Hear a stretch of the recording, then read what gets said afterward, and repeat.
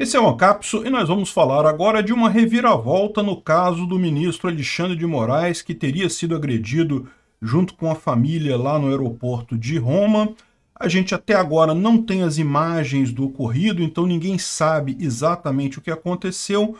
Ontem foi dito que o filho do Alexandre de Moraes teria sido agredido com um tapa, ao passo que, que três pessoas de uma família teriam insultado o Alexandre de Moraes, né?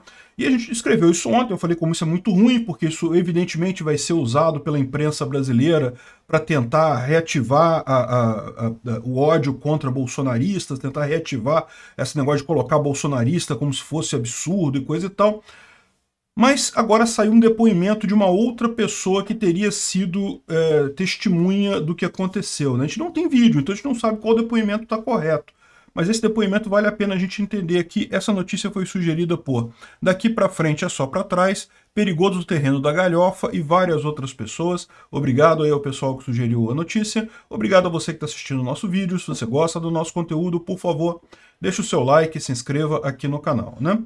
Pois bem, então como eu falei para vocês, ontem eu contei essa história, falei que o, o que foi dito pela imprensa tradicional, né, que o Alexandre de Moraes estaria vindo de Roma para, está embarcando em Roma para um outro destino lá na Europa, é, e um grupo de brasileiros que estava no mesmo aeroporto, o Aeroporto Internacional de Roma, né, é, saindo de lá em direção ao Brasil, teria havido uma, um desencontro ali, os brasileiros haviam xingado ele, dito palavras feias para ele, e o filho dele haveria é, tido um, um uh, teria havido agressão dessas pessoas contra o filho do Alexandre de Moraes, né? Enfim, o que eu falei ontem, eu mantenho o que eu disse. É lógico que isso vai ser usado pela mídia tradicional socialista, é lógico que isso vai ser usado pelo pessoal da, da, uh, da esquerda.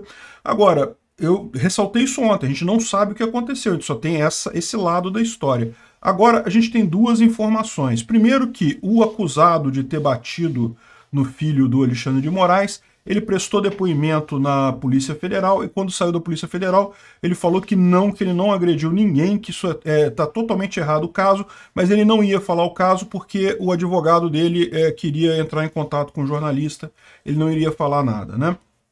Então, é, isso é normal, tá? Em procedimentos desse caso é normal, porque vai que ele repete, que ele fala para o jornalismo negócio, para o negócio, mas troca alguma palavra ou esquece algum fato, alguma coisa assim. Depois poderiam alegar que ele entrou em contradição a versão que ele deu na polícia e a versão que ele deu para os repórteres. Então, para a defesa dele, o advogado deve mesmo impedir que ele fale com qualquer coisa. A única coisa que pode ser liberada é justamente o exato depoimento que ele deu para a polícia para não arriscar invalidar o depoimento por ele ter esquecido uma palavra ou ter mudado algum detalhe, né? Isso é um risco que você tem nesses casos, né? Então, uh, no final das contas, segundo ele disse, só não teve, não teve agressão nenhuma, não teve nada, nada da minha parte, coisa e tal, né? E agora, o mais impressionante foi esse, é, essa testemunha que está está circulando como se fosse de várias pessoas. Então é importante notar isso também, tá? Eu fiquei com o pé atrás de fazer esse vídeo, de falar isso, por quê? Porque primeiro me falaram que era uma tal de Fernanda da Labclean. Aí aqui estão dizendo, nessa, nessa notícia aqui, está dizendo que é de um João Cândido da Costa Neto, que é, trabalha na Assembleia Legislativa de Minas Gerais.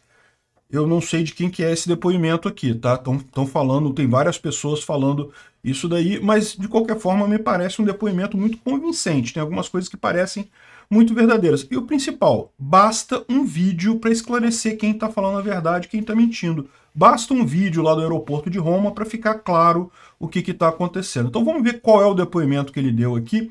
Como eu disse, né, aqui está dizendo que é o João Cândido da Costa Neto, que é um, um, servidor da Assembleia Legislativa, mas eu já vi esse mesmo texto ser atribuído a uma Fernanda da Labclean, não sei, pode ser que tenha sido havido alguma falta de comunicação aí, né?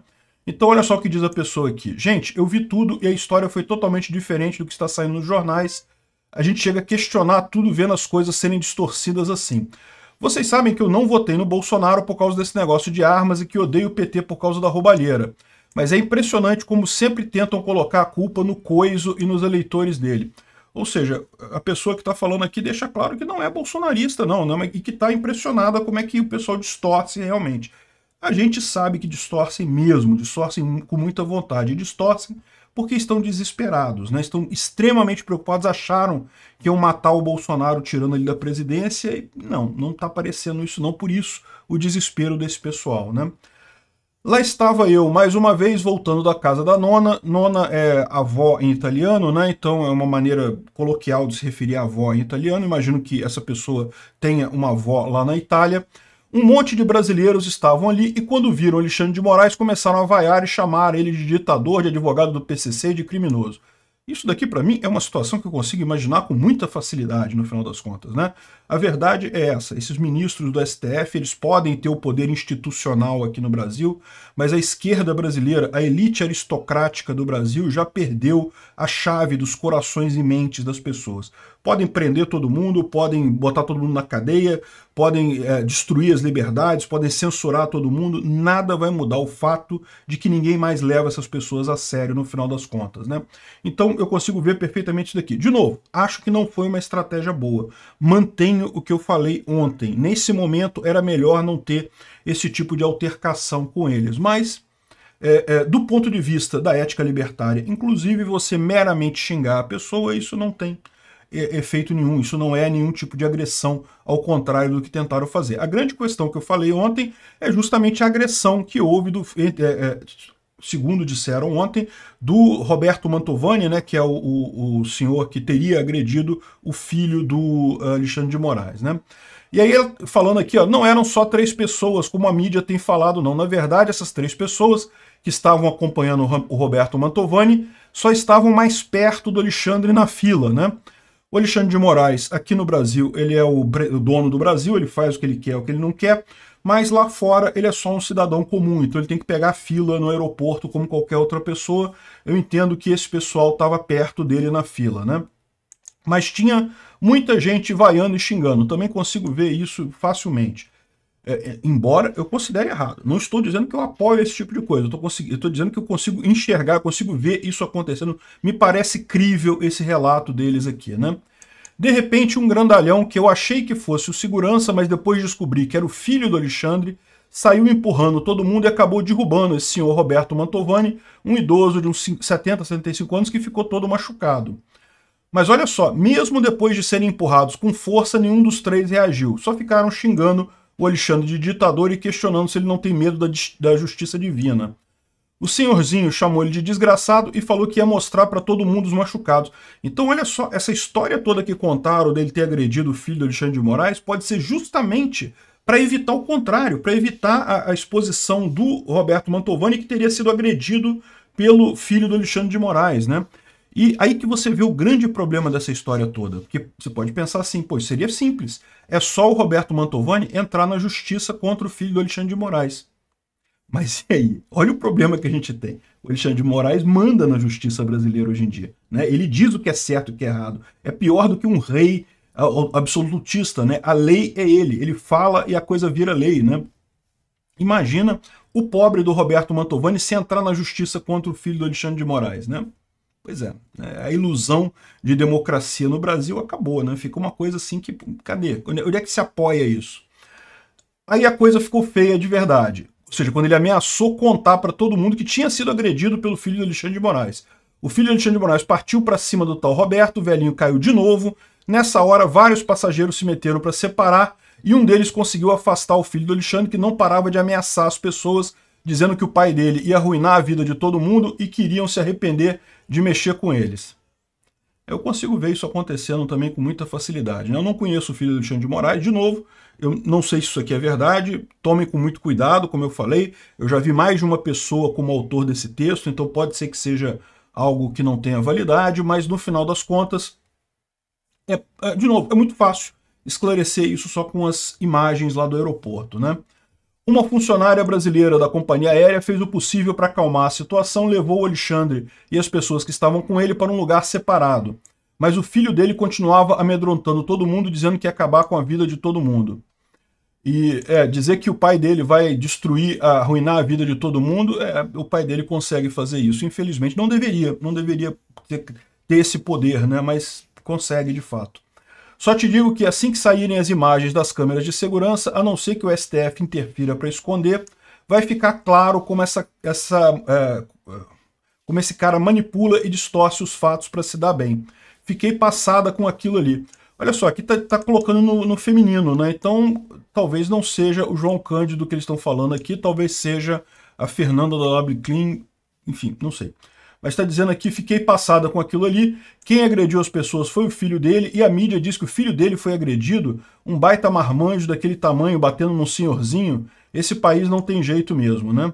Aqui estaria o, o nome, o, o, senhor que seria o, uh, uh, uh, o autor desse, desse relato, né? Enfim, ele pode estar só copiando o relato que foi de outra pessoa no final das contas. Uh, a gente não sabe quem foi que fez esse relato, mas de qualquer forma é uma evidência bastante forte de que isso teria sido uma. Uh, a história teria sido diferente. E, de novo, é, é, é, muito fácil de verificar isso. Né? O aeroporto de Roma certamente tem câmeras de filmagem com tudo, né? e a gente não viu ainda nenhuma imagem da, do ocorrido ali. Deve ser muito fácil identificar a agressão de um lado e de outro.